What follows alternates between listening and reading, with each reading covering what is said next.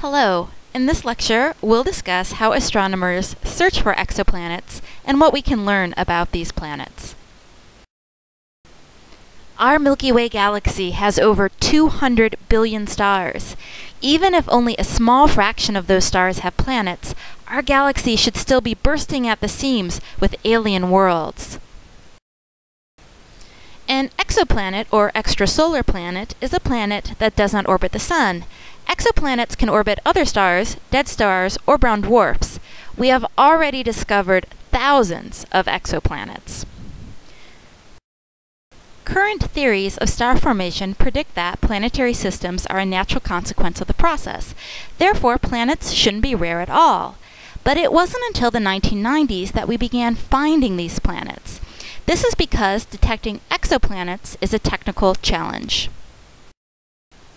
There are two main obstacles to detection. First, stars are very far away. Even the closest of stars are light years distant. Second, stars are much, much brighter than the planets that orbit them. A sun-like star is a billion times brighter than the light reflected from any of its planets, so imaging a planet next to a distant star is also quite difficult. Nevertheless, human ingenuity has prevailed, and we've come up with clever ways to look for exoplanets, despite the challenges. There are two general methods, direct and indirect detection. Direct detection means obtaining actual images or spectra of the planets, and indirect detection means inferring the existence of the planets without actually seeing them. We'll talk about indirect detection first. Under the indirect category, there are two major approaches to finding and studying exoplanets. First, we can observe the motion of a star to detect the tiny gravitational effects of the orbiting planets. And second, we can observe changes in a star's brightness that occur when one of its planets passes in front of it. There are numerous indirect techniques. In this lecture, we'll discuss astrometry, the radial velocity technique, and transit timing. Astrometry and the radial velocity technique both take advantage of the gravitational effect planets have on their stars. With the transit timing technique, astronomers watch for a dip in brightness as a planet passes in front of its parent star. We usually think of one object orbiting another object like the Earth orbiting the Sun, but objects attracted by gravity actually both orbit around their common center of mass. For example, in a binary star system with which both stars have the same mass, we would see the stars orbiting around a point halfway between them. When one object is more massive than the other, the center of mass lies closer to the more massive object. The idea that objects orbit their common center of mass holds even for the Sun and the planets. Consider a star and a single planet. The star is still orbiting around the planet even if the center of mass is inside of it, and the planet is still orbiting around the star. We can therefore see that the orbital period of the star is the same as that of the planet. To find planets around other stars, we need to therefore look for the motion of the star caused by the gravitational tug of its planets. We can look for this motion by making precise measurements of the star's position in the sky. This is called astrometry. Or we can measure the changes in a star's velocity toward or away from us using the radial velocity or Doppler method. Let's first consider astrometry. Measuring very tiny changes in a star position is not easy. For example, a Jupiter-sized planet orbiting 5 astronomical units from a Sun-like star would cause its star to move only about 0.003 of an arcsecond. This is approximately the width of a hair as seen from 5 kilometers. It's very tiny. But it's not undoable. This mission from the European Space Agency has already launched and is in the testing and calibration phases. It will measure positions of a billion stars in our galaxy, some to an accuracy on the order of micro arcseconds. The radial velocity technique also looks for the gravitational tugs of planets around stars. You may recall that the Doppler effect allows us to measure the velocity of a star toward or away from us. When the star is moving toward us, the light is blue shifted. When the star is moving away from us, the light is red shifted. This technique can measure motions as small as 1 meter per second, basically walking speed. The Doppler method was used for the first discovery of an extrasolar planet around a Sun-like star in 1995. This planet has a four-day orbital period and is eight times closer to its star than Mercury is to the Sun. At distances this close, the planet must be very hot.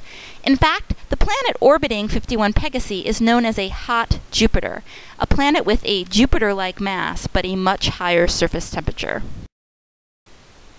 This is what the data look like for the Doppler method. Shown here is a plot of 51 Pegasi's radial velocity over time. When the velocity is positive, the star is moving away from us and the light is redshifted.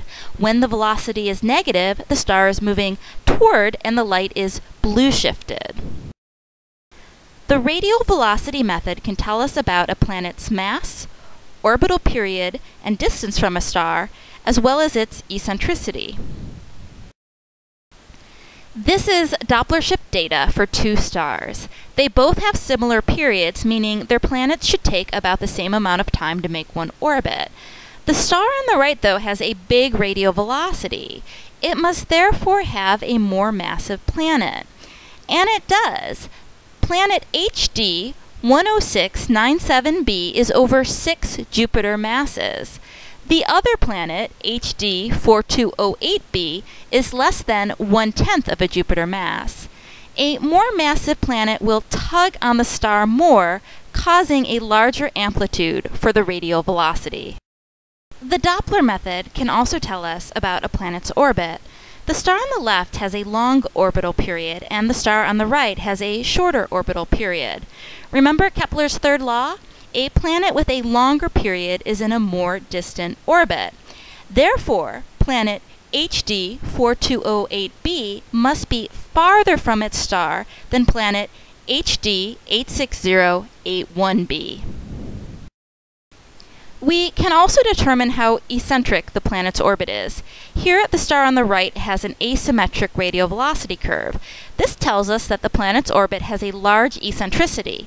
The symmetric curve on the left indicates a more circular orbit.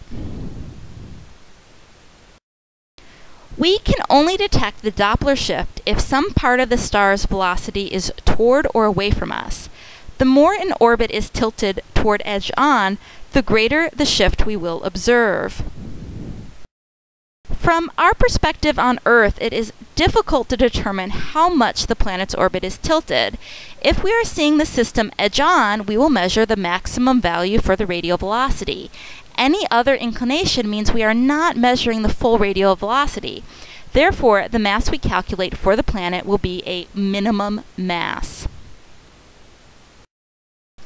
This summarizes how the amount of Doppler shift relates to the star's mass, the planet's mass, and the planet's distance from the star. The amount of shift we see is proportional to the mass of the planet and inversely proportional to the square root of the star's mass multiplied by the distance between the star and planet. A more massive planet can tug harder on its star, therefore we see a larger radial velocity. A more massive star can resist the tug of a planet, so a massive star will show less radial velocity. A larger orbit means less gravitational tug, so this will also result in a smaller radial velocity. To sum it up, it's easiest to detect a high mass planet that is in close orbit around a less massive star. The second general method of detecting planets indirectly is called the transit method. If a star system is lined up so that we are seeing it edge on, then one or more of its planets will pass directly between us and the star once each orbit. The result is a transit. The eclipse reduces the star's apparent brightness and can tell us something about the planet's radius. Because most stars exhibit some intrinsic variations in brightness, we can be confident that we've detected a planet only if we observe the dips in brightness to repeat regularly. The period of repeating timings tells us the orbital period of the transiting planet. The Kepler mission uses the transit method to discover exoplanets. The goal is to find Earth-like planets in Earth-like orbits that could potentially harbor life. This is a technically challenging goal, but Kepler has been enormously successful, finding over 4,000 planet candidates, some of which are in the habitable zone. We are able to determine details about a planet's orbit and its physical size using the transit method. Here's how. The time between transits is the orbital period. The longer the orbital period, the more distant the planet is. Here are the transits for two star systems. The system on the left has a much shorter period than the system on the right. This implies the planet orbiting the star on the left orbits much more closely than the one on the right. Again, remember Kepler's third law. Distant planets orbit more slowly than close-in planets. We can learn about the physical size of the planet by looking at how much light the planet blocks from the star. A smaller planet will cause a small dip in brightness compared to a larger planet, which will cause a larger dip. That's it. I know this was a lot of material, so take a break, get a mocha, and I'll talk to you again soon.